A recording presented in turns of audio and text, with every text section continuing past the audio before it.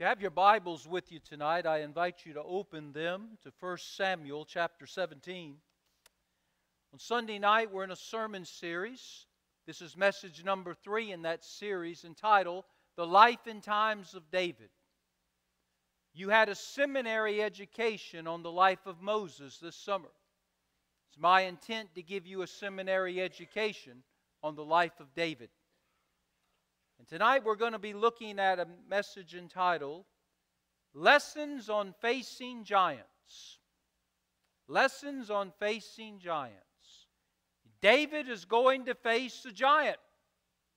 And you and I are going to face giants in our life too.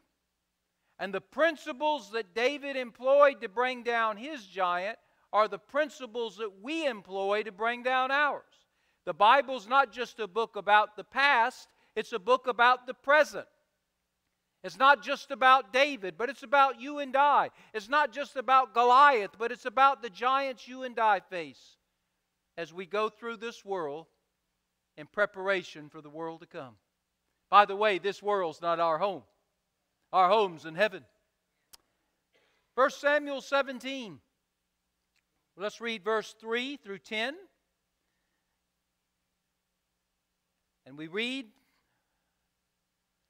the Philistines stood on a mountain on one side, and Israel stood on a mountain on the other side. And there was a vast valley between them. And a champion went out from the camp of the Philistines named Goliath. He was from Gath. His height was six cubits and a span. He had a bronze helmet on his head, and he was armed with a coat of mail and the weight of that coat was 5,000 shekels of bronze. He had a bronze armor on his legs and a bronze javelin between his shoulders. Now the staff of his spear was like a weaver's beam, and his iron spearhead weighed 600 shekels. And a shield bearer went out before him to block arrows and spears that might be fired or thrown at him. And then he stood and cried out to the armies of Israel. Goliath said to them, Why have you come out to line up for battle? Am I not a Philistine and you the servants of Saul?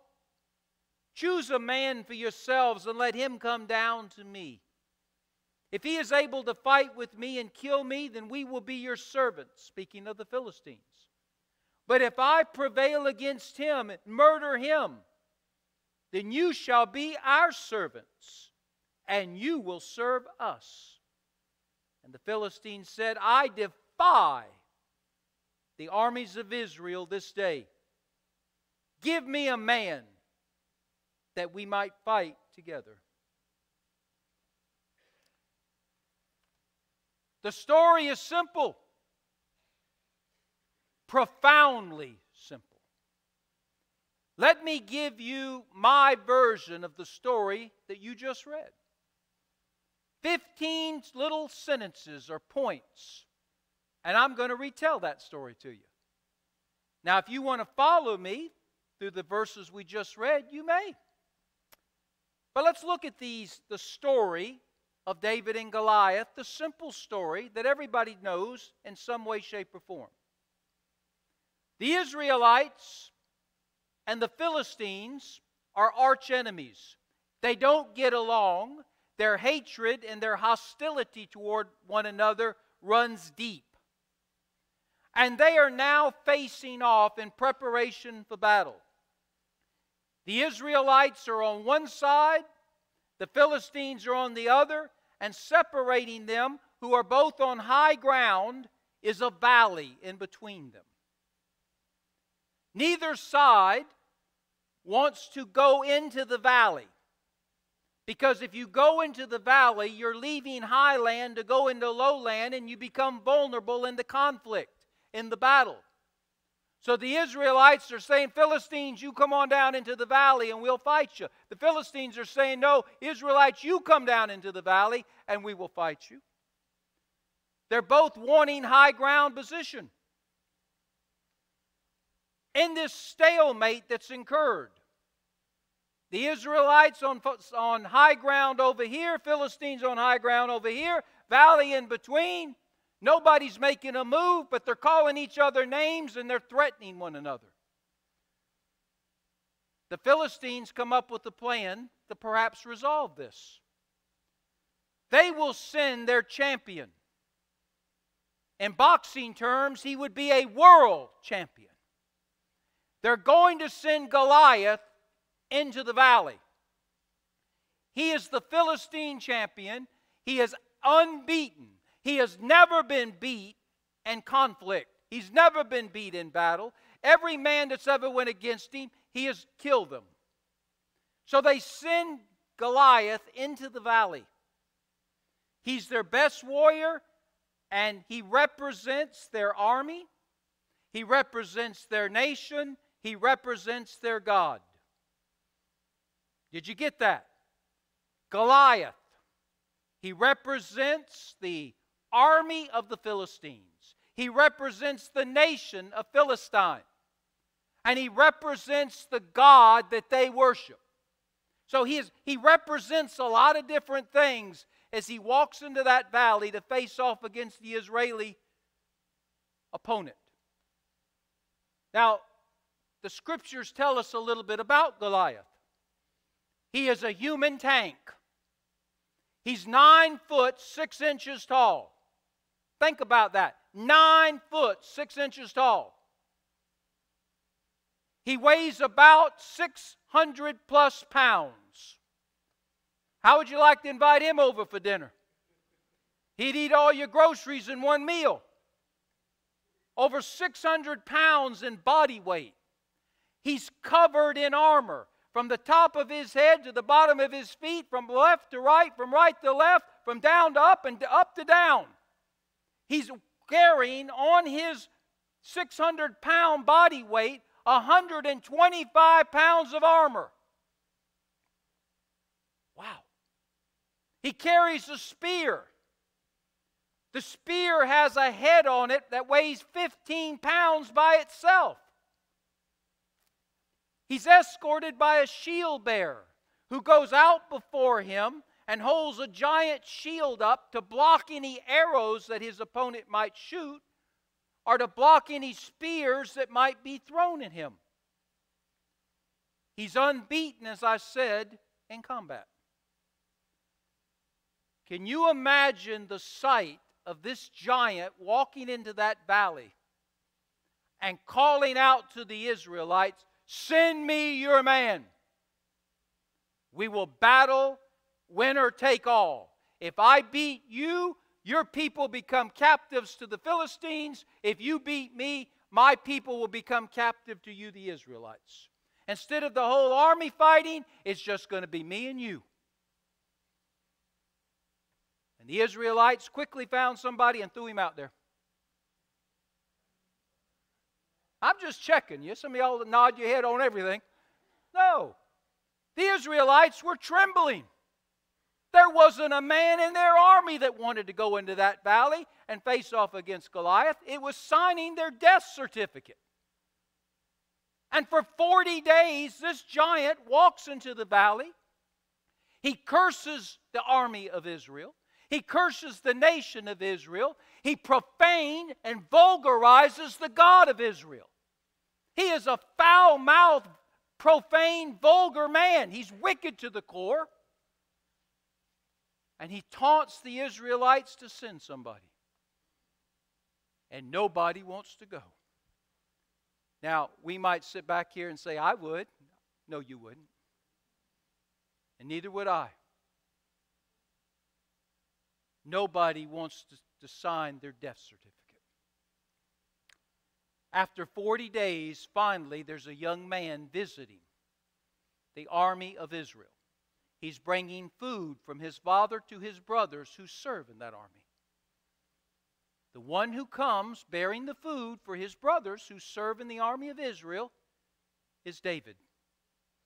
And David listens to what Goliath says. What Goliath says about the army of Israel. You're a bunch of cowards. You bunch of sissies. He listens to what Goliath says about the, the nation of Israel. This nation is full of weak people. You don't deserve to even have a nation. God should wipe you off the face of the earth. And then he talks about their God. He cusses at their God. He puts his middle finger up in the air at their God. He dares their God to do something. And the Israelites do do something. They cower down and panic. And David says this is not to be. I will not have somebody curse my brothers in the army of Israel. I will not have somebody curse God's chosen nation, Israel. I will not have somebody curse my God. I will battle him. And David, a teenage boy, a shepherd boy, goes out to face Goliath. What do you think was on Goliath's mind when he saw David coming? Y'all ever think about things like that, speculate? I believe Goliath laughed. I, thought, I, I think he thought it was funny. This is a joke. You, you got to be kidding. And then I think his laughter turned to anger because this was an insult to him. I, I think he thought King Saul might come out and battle him. But Saul was a coward. I, maybe he thought another warrior would come out. But they weren't, they were afraid. And so here comes David, a shepherd boy. He doesn't have any armor on, there's no armor to fit him. He's too small. He doesn't know how to use a sword. He doesn't know how to use a spear. He doesn't know how to use bow and arrows. All he knows how to use is a slingshot. And so David goes out to battle Goliath in his street clothes, his shepherd clothes, you might say, with a slingshot and five stones in his little pouch. And he charges at Goliath. He runs at Goliath. He doesn't run away from him, he runs right at him. And while Goliath is laughing, while Goliath is raising his spear, while he's preparing to throw that spear and split David in half with it, David's moving fast. He's zigzagging. He ain't running in a straight line. And Goliath is trying to get his bead on him. And then David, who has guided rocks in his pouch, we got guided missiles, he had guided rocks. And he took that slingshot, paused a moment after he zigzagged, got close enough to Goliath. He pulled it back, stone number one, and he fired it. He wouldn't need stone number two, three, four, five. Because that stone, guided by the hand of God, struck Goliath right between the eyes, buried itself right between his eyes. And Goliath's eyes rolled back in his head. He began to shake and quiver, and he collapsed to the ground. Boom! Armor bearer took off and ran. And David went to the fallen Goliath and pulled out his big sword. And David took his head off his shoulders and held it up for all to see. Now, the Philistines, who were supposed to surrender, they took off for running. And they're still running today. That's the story of David and Goliath. Goliath is dead, David has won. David has beaten Goliath. Israel has beaten the Philistines. And the God of heaven has defeated the Philistine God of Dagon. Now, that's the story. That's the story we read to our children and grandchildren. Maybe not quite in that detail, but that's really not what I want us to focus on. Because the Bible is not just a book about facts, it's also a book about principles. In fact, the Bible really is a principle book. Every story is simple, but the profoundness of each story is what God wants us to understand and learn the principles. Because remember, you and I one day are going to face a what? A giant. Some of you have already been facing them. Some of you are facing them now. I can promise you, if you're sitting here saying, I've never faced one, you will. There's giants in this world. What can we learn from this story to prepare us for that day when we will battle our giants? Five lessons I want to give to you real quick tonight. First of all, there's a lesson on problems for us. A lesson on problems. David was a human being. Human beings who live in this fallen world are going to have problems. You got that? But, Pastor, I'm a Christian. You're going to have problems. Pastor, I'm a super Christian. You're going to have problems. Pa- Pastor, I'm a man of great faith. I'm a woman of great faith. I'm glad you are. You're going to have problems. Our faith is not a vaccination or an immunization from problems. I know that's what some of these TV preachers tell you.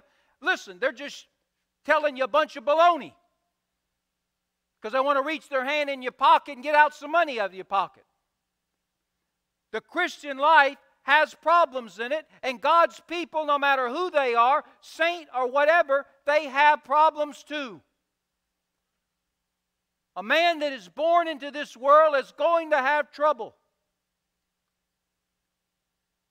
So David had problems. He had troubles, he had struggles, he had challenges. All of us are going to have them, all of us do have them, and more is to come. Think about David's problems for just a moment. He, first of all, he had a father that was prejudiced and biased against him. David had multiple brothers. Remember when Samuel went looking in the house of Jesse for a king? And Jesse said, Let me go get my boys, one of them will do it. But he didn't bring David. David was the only son he left out. He brought the oldest son, he brought all the other sons, but he didn't bring David. Why? because he favored the other brothers more than David. That's, that's, that hurts, doesn't it? When parents show bias or prejudice or favoritism to one child over another. Now, we might treat our children differently, but we should love them the same. Amen? Well, David, he he had problems. He had a father that was biased. He also had brothers that were critical. The brothers are always putting him down. He's the run in the litter, and they make sure he knows that. So he's got a father who's biased as he's growing up. He's got brothers that are critical of him. They put him down, they mock him, they laugh at him. They don't uh, think that he's going to amount to anything but just watching sheep. David also battles with loneliness. He's a shepherd, he's a solo shepherd. He's out taking care of sheep from morning to evening. That's all, it's just him and the sheep. He doesn't have a wife out there with him, he doesn't have any children out there with him, doesn't have any grandchildren out there with him, doesn't have any brothers out there with him. It's just him. As he carries out the responsibilities his father gave to him in regard to the sheep, it's just him. Can you imagine the loneliness? There's only so many songs you can sing, Keith. There's only so many things you can do to entertain yourself. So, David, here he is a young man. He's facing the problems of life that a young man his age might would face, just like we do. A prejudiced father, critical brothers, an occupation that is a lonely occupation. Not only lowly, lonely. And then the, he also says in the Bible that he had to guard the sheep. Part of his responsibility was not only to feed the sheep and medicate the sheep, but it was also to protect the sheep. Protect them from what? Lions, tigers, and bears. David the shepherd boy, he watched The Wizard of Oz. I'm kidding some of y'all. Y'all sit out there going, I didn't know you knew it was Oz. I didn't know David had a television. Yeah, he had a color one. But David had the responsibility of taking care of the sheep. And when lions would come and try to get one for a meal, David fought the lions and killed the lions. He fought the bears and killed the bears.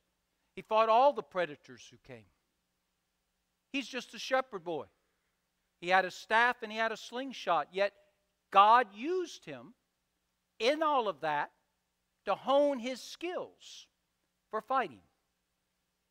But in each problem that I just told you, the, the biased father, the critical brothers, the, the, the lowliness and loneliness of his occupation, and the constant battles that he had to fight against predators, God was with him.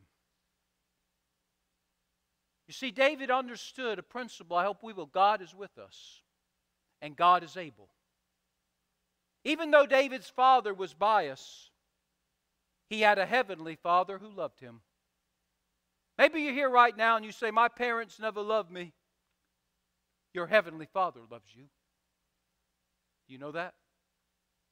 And he cares for you.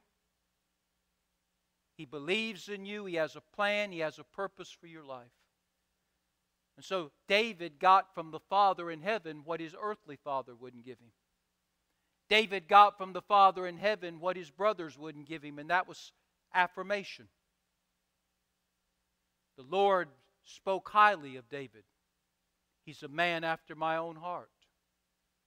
The Lord spoke of, and comforted David and encouraged David with his words. Are you picking this up? What you don't get this way, God can supply this way. And David was lonely. But there was somebody out there with him when he did, took care of those sheep. It was God Himself. So God, He gave testimony of David. He praised him. He was gracious to him. He was there with him to give him fellowship. And those wild animals that David had to fight, he didn't kill them. God killed them through him. So understand, you're going to have problems. David had problems. And the problem he was facing in our story was Goliath. But he had other problems long before that, didn't he? You got it now? Prejudiced father, critical brothers, a lowly, lonely position, and wild animals to protect the sheep from. God took care of David. And David's faith grew. Every time God does something and, and, increases our faith, we should trust Him that much more for something else. Because the Lord usually starts out with little giants, and He grows them up as our faith increases. But the second thing I want us to see is not only a lesson on problems, we're all going to have problems, and those problems sometimes are going to be giants. And God is using the things that we go through on a small scale to prepare us for the large scale. Okay? David just doesn't walk out and kill Goliath. He has the confidence that he can fight Goliath because he's fought lions, tigers, and bears. If God can kill a four legged creature, God can kill a two legged one too. Secondly, a lesson on perspective. There's more to this story, as I said earlier, than meets the eye. Ephesians chapter 6, verse 11 and 12, the great apostle Paul writes this to us. He says, Put on the whole armor of God, that you may be able to stand against the wiles of the devil. We wrestle not against flesh and blood, but against principalities, against powers, against the rulers of the darkness of this world, against spiritual wickedness in high places. Now, look up here at me. A lesson on problems. We're all going to have problems. And they're going to get bigger as we grow older and our faith increases. A lesson on perspective. Pay attention. Goliath was a real person who was real in every way the Bible talks about. He's not imaginary, he's not a fable, he's not a fairy tale, he's not an illusion. Goliath was a real wicked man. He was real.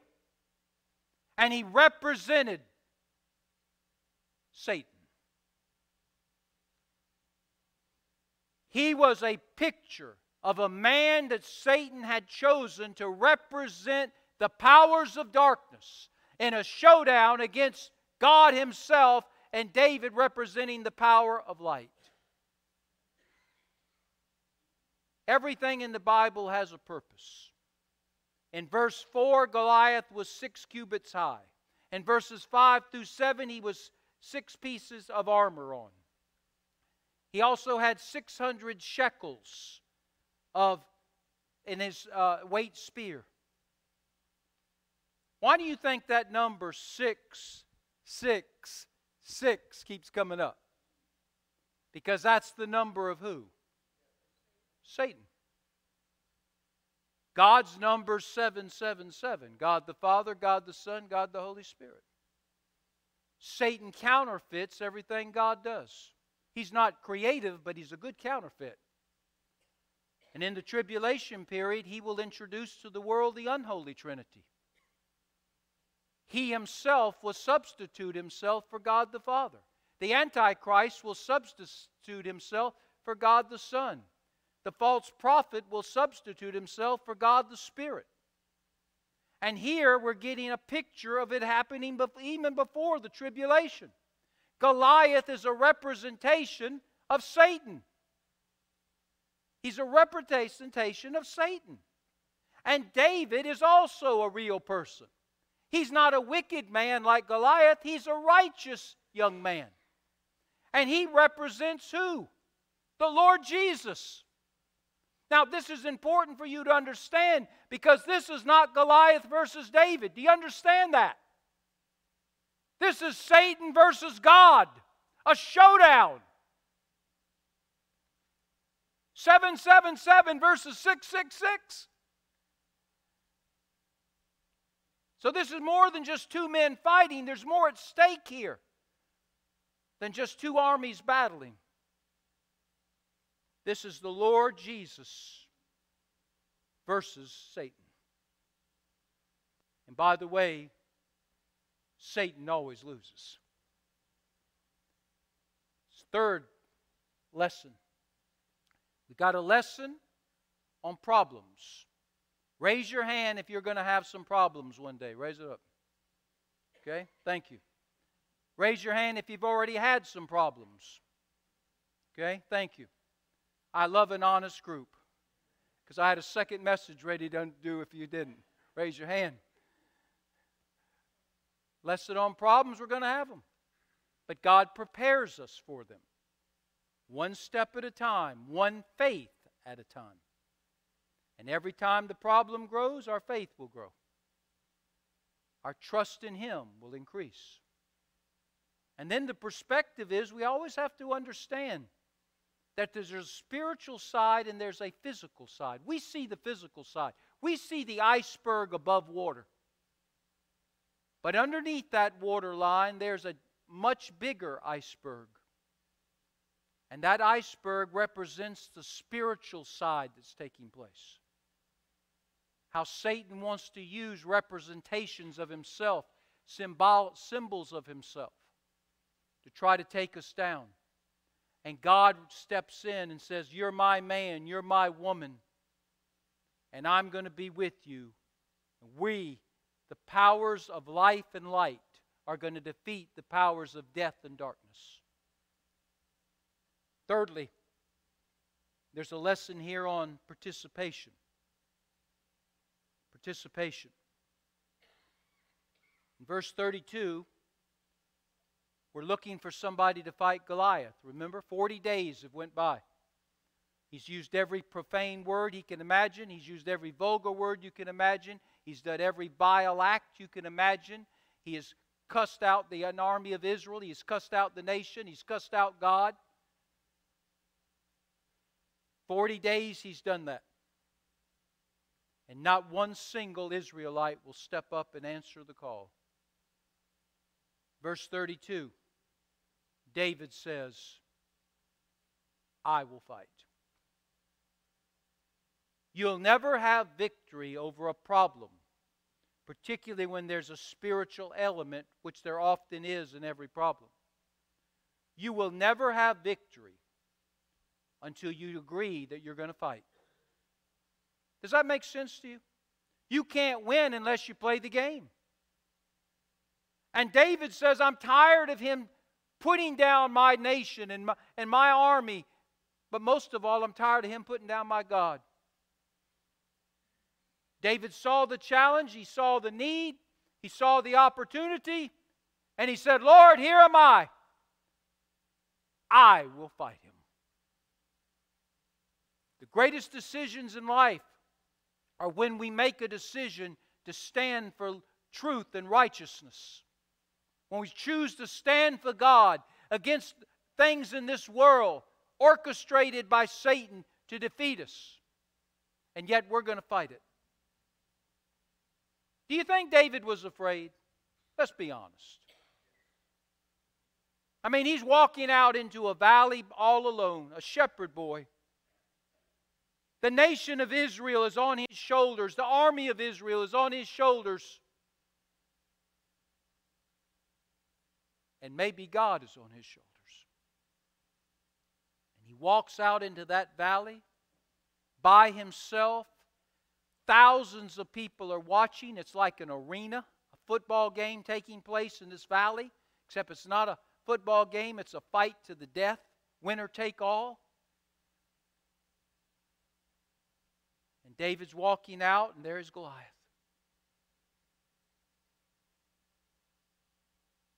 I think when he's reaching into that pouch, his hand is shaking. That slingshot's like that. He's zigging and zagging, and he's sweating. Because, see, we have the privilege of looking back, don't we? We see the story. He didn't see all of this.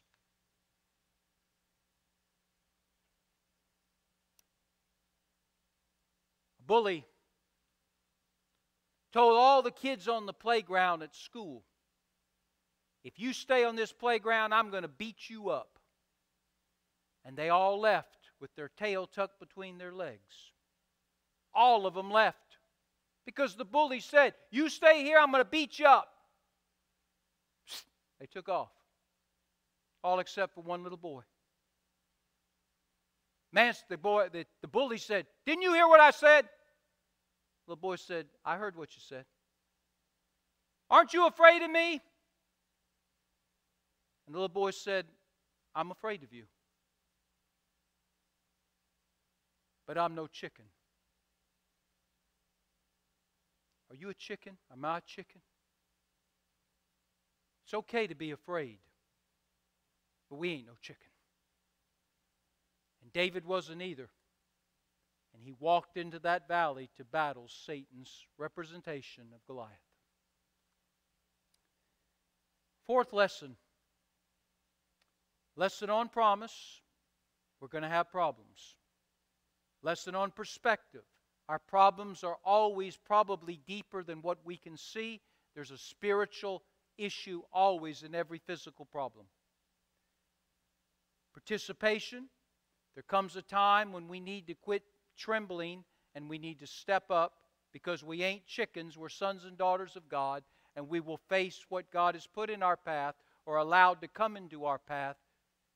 We will face it. We're not going to run, we're going to face it. Then there's a lesson on power. Notice verse 47. David says, The battle is the Lord's. No wonder he had a heart for God. Because David could see things nobody else could see. Spiritual people always see what other people can't see.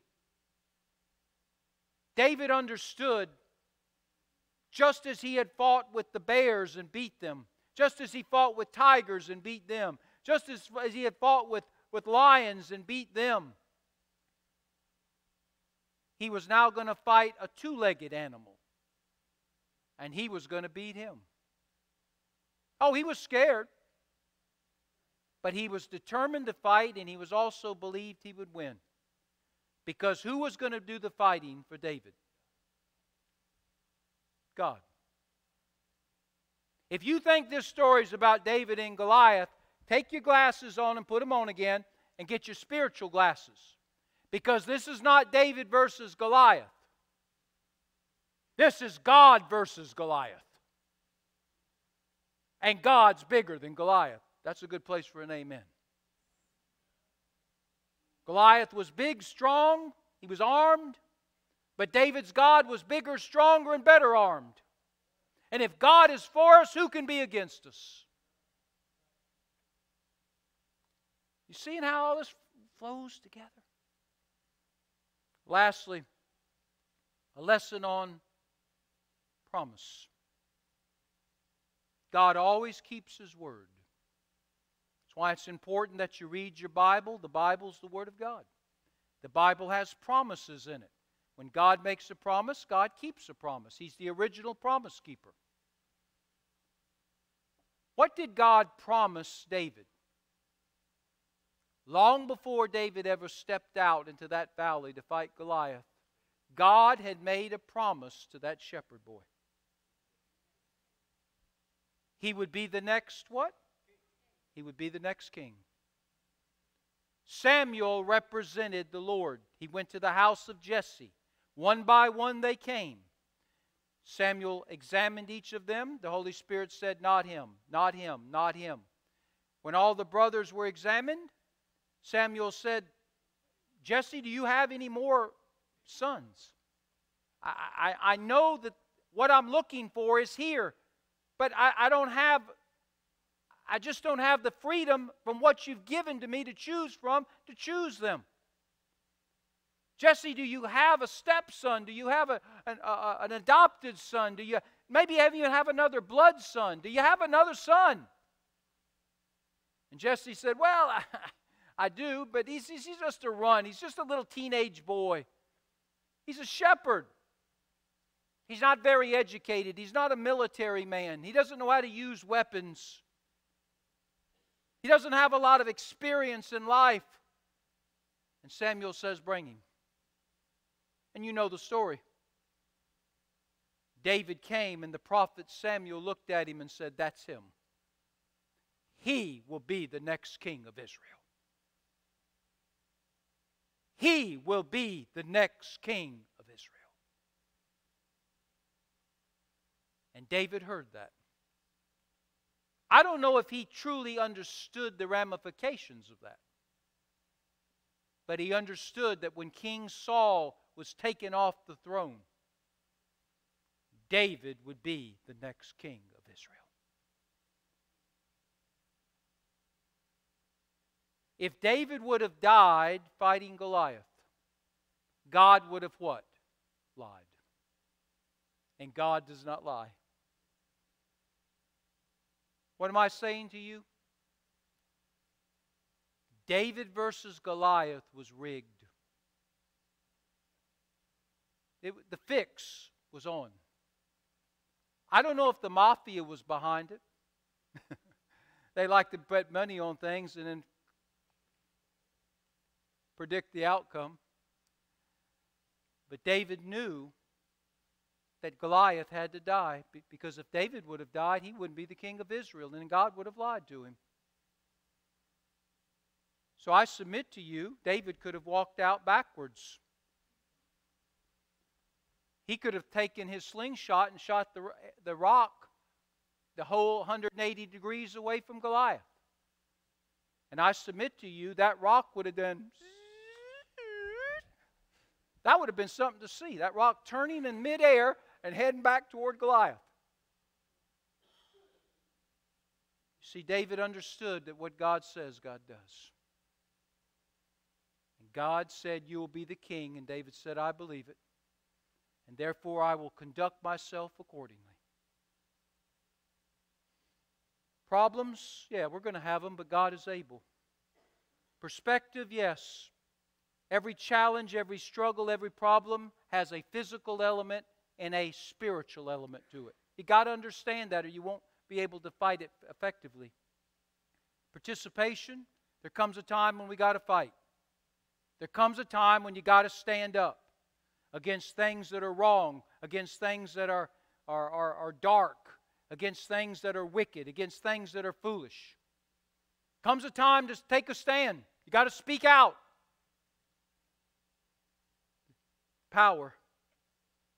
We trust God to fight our battles. And, church, we really need to understand that in the days in which we live. Persecution is going to come against the church.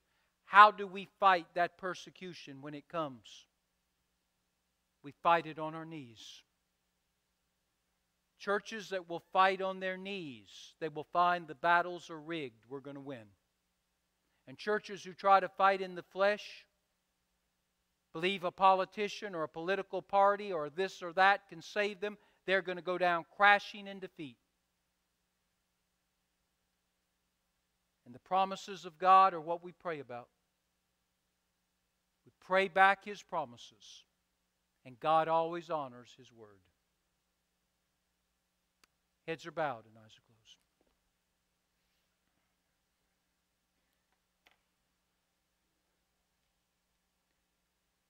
So, this was a story about David tonight.